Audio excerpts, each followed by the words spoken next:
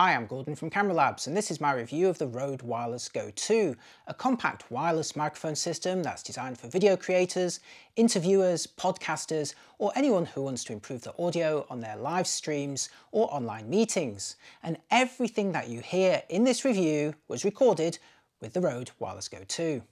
Arriving two years after the original Wireless Go, the Mark II version shares the same size transmitter and receiver modules, with the transmitter still including a built-in microphone as well as an analog input for an external mic. This means you can either use the transmitter as a traditional wireless pack with a separate lav mic, or actually clip the entire transmitter unit directly to your collar and use it as the lav mic as well, as I'm doing here. So far so similar to before, but in a major upgrade, the Go 2 now comes with two transmitter units, allowing you to easily mic up and record two people at once, making it perfect for interviews.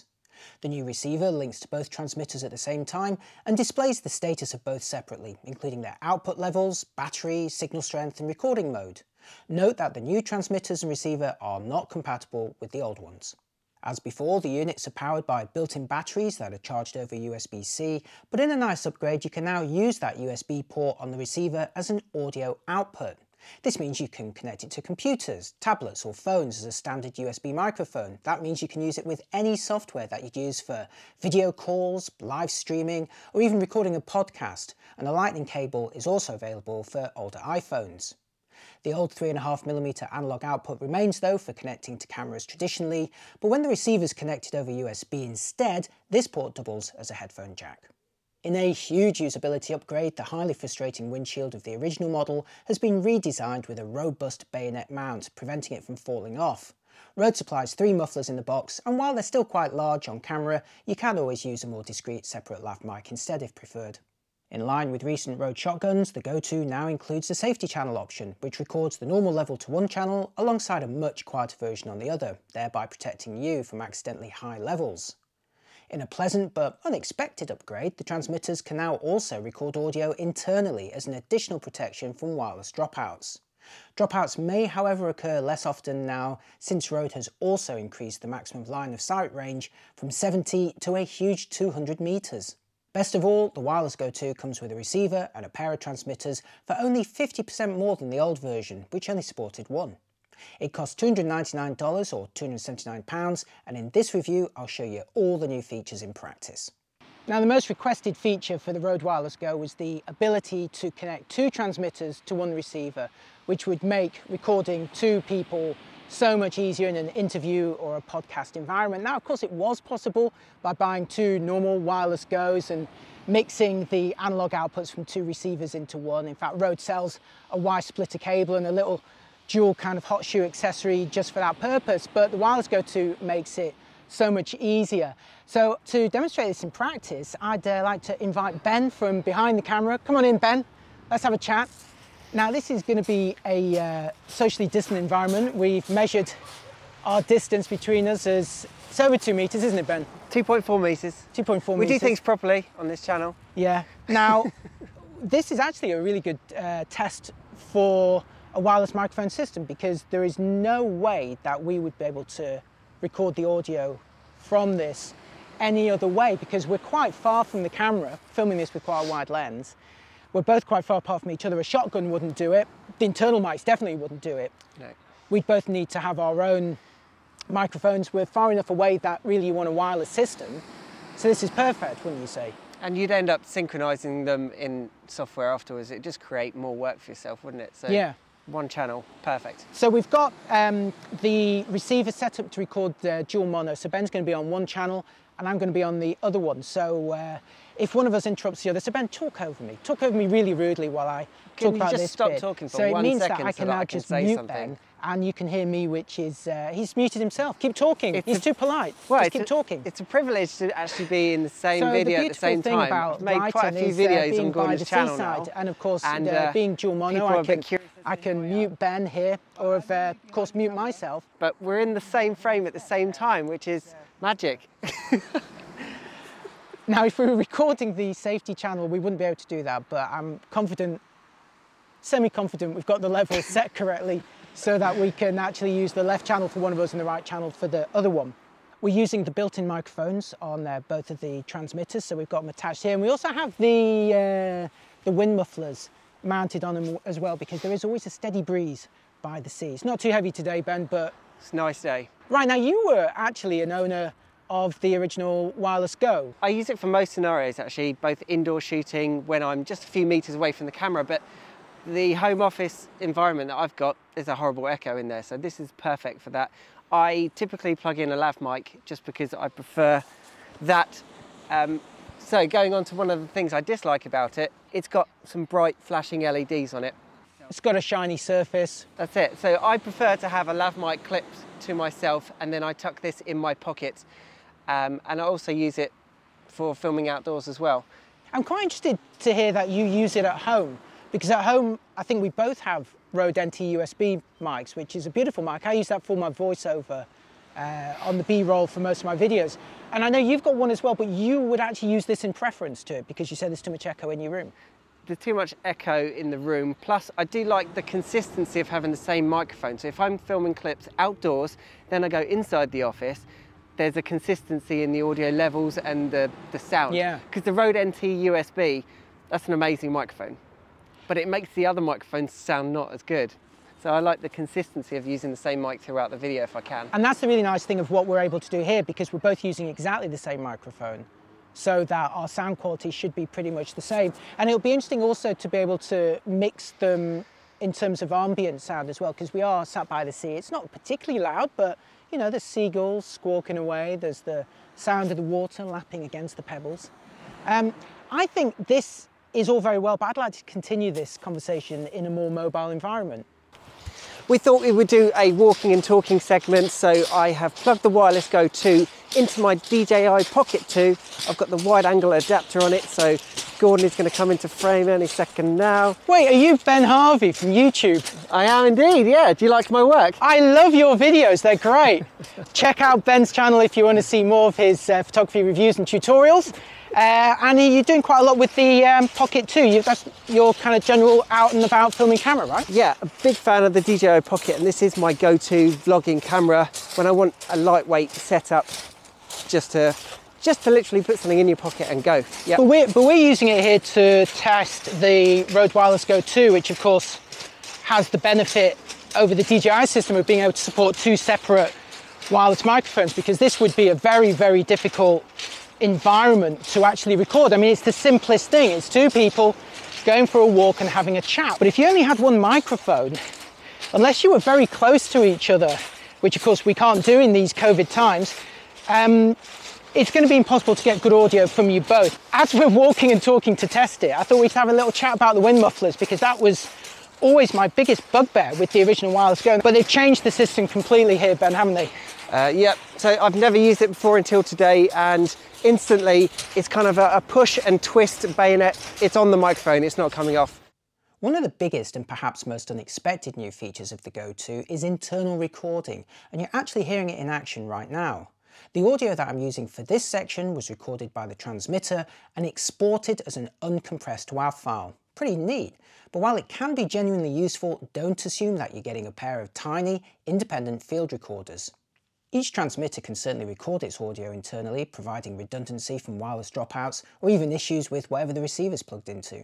And there's enough built-in memory to store around 7 hours of uncompressed audio or over 40 hours in a compressed format. But unlike traditional field recorders, there's no physical controls to activate recordings, nor any removable storage, or not even the ability to simply drag WAVs or MP3s directly out of them. Instead, everything relies on the Rode Central app, which, at the time of reviewing, was only available for Mac and Windows systems. Once a transmitter is connected over USB, the Central app installs any new firmware updates, then lets you set the option to record, along with choosing between compressed or uncompressed formats. But the actual recording itself won't actually start until the transmitter and receiver units are powered up and wirelessly connected to each other, and it won't stop again until you switch one or both of them off. This means that you will need the receiver present and connected to make any internal recordings in the transmitters, although at least the receiver screen is useful for checking levels, while a red dot above each channel indicates which transmitters are currently recording. This unattended process may prevent accidental stops and starts, but means you'll also inevitably end up with lots of redundant audio. Plus, once the unit is full, it'll start deleting the oldest recordings in a rolling process. But again, with 7 hours of uncompressed or over 40 hours of compressed audio, you've got plenty of breathing space. Just remember to extract those files at the end of each working day. When you want to access the recordings though, you can't just connect the transmitter to your computer over USB and simply drag out usable WAVs or MP3s.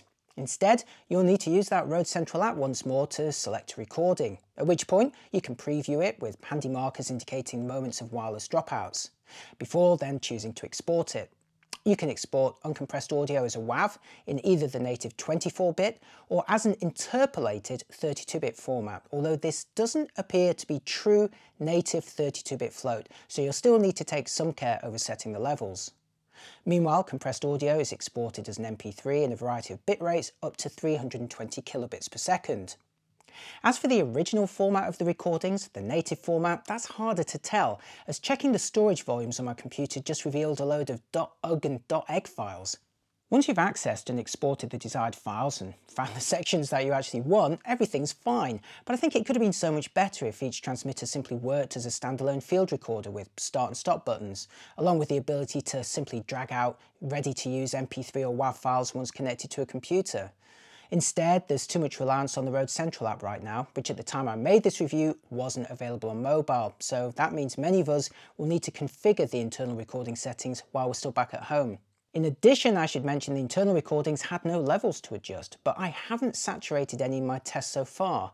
Rode explained to me that the recording levels had been preset for the built-in or a lav mic for normal voice use, but I'm hoping it also hints at a very broad dynamic range behind the scenes. Who knows, maybe native 32-bit floating point may be possible in a future update. But while I find the workflow unnecessarily convoluted, ironically in an attempt to be simple, it's arguably just a bonus feature you wouldn't expect to find on a wireless mic. As such, while the Go 2 could be improved to the point of becoming an effective field recorder, it's still ultimately a wireless microphone system, which considerately also provides some internal protection against wireless dropouts. Okay, now the old Wireless Go had a maximum range of 70 meters, but the new Wireless Go 2 can extend that to up to 200 meters. I cannot imagine any scenario where somebody will be 200 meters away from the microphone, but you've got to test it, right? So I'm going to walk gradually backwards and turn around at various intervals to see whether you can still hear me. But I am also using the internal memory on the transmitter to record the audio. So when it does drop out, I will be able to switch over and I'll tell you when I'm doing that. So three meters distance, I'm gonna turn around and keep talking. I would hope that it definitely would not drop out at this point because uh, I am pretty close. All right, let's go a little bit further. So I'm 10 meters away from the camera and if I turn around we can hear whether the audio drops out or not. Again, if it does drop out, I can always replace that audio later on. Right, I'm going to go much further away now.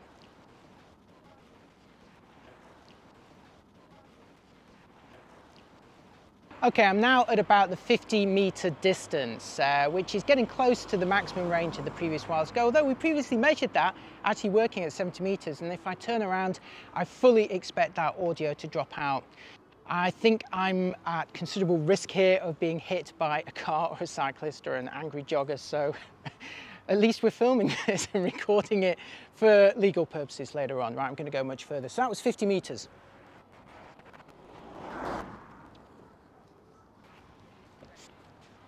Okay, I'm now at the 100 meter distance. This is roughly halfway through Rode's claimed maximum range for the Wireless Go 2, and Ben looks like he's absolutely miles away. If I turn around, I'm absolutely is going to cut out, but hopefully reacquire the signal as soon as I'm facing it. If I turn around, I'm absolutely positive that that sound is going to cut out, but hopefully reacquire the signal as soon as I'm facing it. Right, I'm gonna go to the maximum 200 meter distance. Okay, now I'm at the 200 meter distance. There are 200 meters as previously mentioned, uh, between the transmitter here on my collar and the receiver which is mounted way back on the Alpha 1 camera which Ben is filming with. And while I talk it's going to be quite difficult to avoid anybody running in the way. I can see someone running in the way right now, but hopefully you can hear me now if I turn around. Going to out. But the interesting thing is, is that even if the transmitter isn't working at this point, even if the radio link is too far, I do have that backup audio that I've recorded. But hopefully you can hear me. Now, if I turn around, I'm absolutely positive he's going to drop out. But the interesting thing is, is that even if the transmitter isn't working at this point, even if the radio link is too far, I do have that backup audio that I've recorded. And now three meters from the camera. Right, I'm glad we got that one over and done with. Okay, I'm really curious to see exactly where that range cuts out when my back is turned from you. Here I am starting off at three meters, so see you in a minute. So three meters, and now six meters, nine meters. The people who laid these balls did it evenly, 12 meters, 15 meters, 18 meters, 21 meters, 24 meters, 27 meters to that red post box there and I'm still talking. Um, the microphone is still recording audio internally as a backup so I can always use that. But I'm going to keep talking to see how the sound works out and I'm really going to be annoying these cyclists so I'm just going to dodge off the cycle lane for a moment because actually I'm a cyclist too. Uh, lockdown has uh, and I'm really going to be annoying these cyclists so I'm just going to dodge off the cycle lane for a moment because actually I'm a cyclist too. Uh, lockdown has uh, encouraged me to get back on my bike and I've really enjoyed cycling. Okay, now I'd like to check out the safety channel feature of the Wireless Go 2. Now what this does is it records your main signal to one channel and records a much quieter, minus 20 dB quieter version to the other channel. Now if you're using both microphones simultaneously then unfortunately those channels have to be merged on one side and the quieter version on the other side. So what it means is if you have the safety channel enabled you're not going to be able to separately mix or adjust the levels of those two transmitters. They are merged into one when the safety channel is enabled. And in order to enable the safety channel, you will have to connect the receiver module to your computer and use the Rode application to actually enable that feature. Now to test this, I'm actually stood about four meters away from a Sony Alpha 1 with a 135mm 1.8 lens. So this distance is also ideal for testing a wireless microphone. This is the sort of environment in which you'll be using it. So let's see what happens if we accidentally set the levels too high, spoil the audio, and see if we can actually retrieve a usable audio track from them. Back in a sec. Okay, I'm back, and the thing that's changed is the audio level on the Alpha 1. I've now increased it from 3 to 31, that is the maximum value. Okay, I'm back, and the thing that's changed is the audio level on the Alpha 1. I've now increased it from 3 to 31, that is the maximum value. Okay, I'm back, and the thing that's changed is the audio level on the Alpha 1. I've now increased it from 3 to 31, that is the maximum value. Okay, now it's time for my verdict, and for the rest of this video, I'm using the Wireless Go 2 as a USB microphone, with the receiver connected to my MacBook Pro. With the Wireless Go 2, Rode has made significant upgrades over the original model, fixing a number of issues, but also adding some unexpected features and greatly increasing its appeal as a result. Most obviously, the dual transmitters now make recording interviews, whether on camera or for audio-only podcasts, so much easier than before. And from a practical aspect, the frustrating windshields of the original now just twist on and stay put securely. Personally, I'd have been satisfied by these two upgrades alone, but the Go 2 also increases the operating distance, broadens the connectivity to include phones, tablets and computers, and includes an internal recording option for backup, as well as an optional safety channel for protection against unexpectedly loud sounds or badly set levels. In my test, the range was genuinely longer, and the windshields no longer fell off, and the internal recording and safety channel protect from both dropouts and saturation, while it's never been quicker or easier to mic up two people for an interview or vlog. I also enjoyed the option of using a wireless microphone on my computer or phone over USB-C for all those Zoom and Skype meetings. As someone who mostly uses the built-in microphone though, I remain a little frustrated by Rode's physical design. The transmitter unit is still distractingly shiny when facing forward, and even if you reverse it behind the collar, there's still those blue status lights illuminating your neck. I reached out to Rode and asked if a future firmware update could possibly disable the transmitter lights for discretion, as the receiver display already indicates if they're actually working. But to be fair, some carefully placed sellotape can provide stealth if preferred, and if you're using the transmitter with a separate lav mic, then the design of the unit, the lights, and even the large windshield all become non-issues. Beyond this, there's the unnecessary reliance on the Rode app for configuring and accessing internal recordings, which I detailed earlier. I'm hoping Rode's sly mention of an interpolated 32-bit export in the application means we may see a firmware update in the future that enables true native 32-bit float recordings on the Wireless Go 2. But for now, you'll still need to set your levels fairly carefully or trade the ability to mix the two microphones for that safety channel. But again, it seems churlish to complain as had internal recording been left out of the Go 2 altogether, I really wouldn't have any issues with the product at all, other than an overly shiny transmitter unit. The fact is, it's already sufficiently compelling without internal recording, so I'd view this feature as bonus icing on the cake. Since its launch, I've come to rely on the Wireless Go for my outside recordings, but with the upgrades, the new Go 2 becomes a compelling option indoors too, while the dual transmitters make interviews an absolute doddle to record. And it's this sheer flexibility that makes the Wireless Go 2 a no-brainer for anyone who wants to upgrade their microphone audio, whether they're worrying about wires or complex setups. It's no exaggeration to say I love it, and I reckon most of you will too. Right, that's the end of this review. If you found it useful, please do give it a like and don't forget the best way to support my work is simply to subscribe to this channel. It really, really helps. Or if you're feeling super generous, there's links below to shout me a coffee or treat yourself to my in-camera photography book. Thanks for watching and thanks for listening and I'll see you next time. Bye.